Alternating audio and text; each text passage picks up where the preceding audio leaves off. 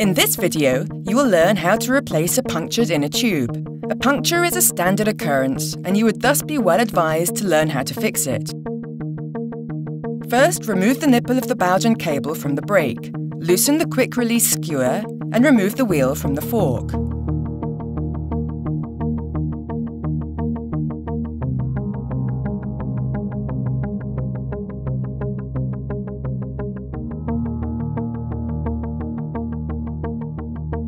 Unscrew the cap and the valve nut.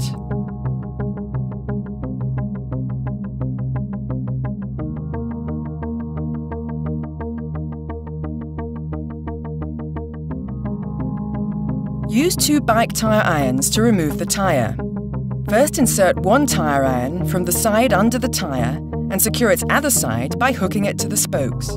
Detach the tyre from the rim by moving the other tyre iron alongside the whole circumference of the rim.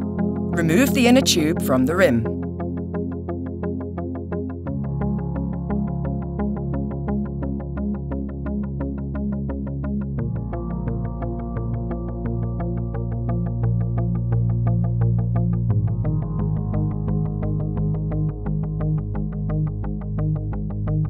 You now have to check if the rim strip is not damaged, and also if there are no foreign elements in the tyre, such as stone fragments, that could cause another puncture in the same spot. If everything is all right, take the new inner tube and inflate it just a little. It will make it easier for you to insert it back into the tyre and prevent it from getting squeezed between the tyre and the rim.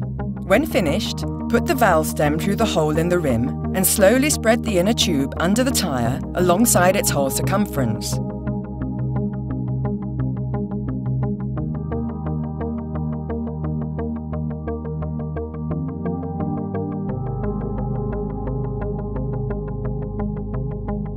Gradually reinsert the whole tyre into the rim.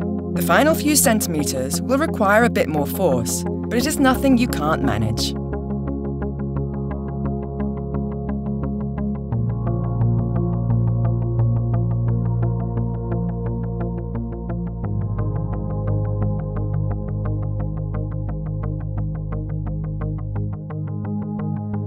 Screw the valve nut on the valve stem and inflate the inner tube.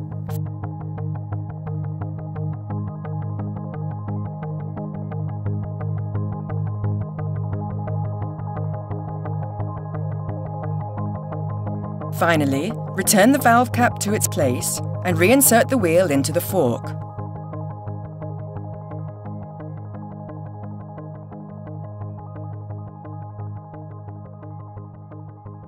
The quick release skewer should offer some resistance as it snaps back in. As you can see, changing the inner tube is nothing difficult. Now you can be sure that a punctured inner tube won't ruin your trip. But remember to carry a spare inner tube and a pump with you on your trips.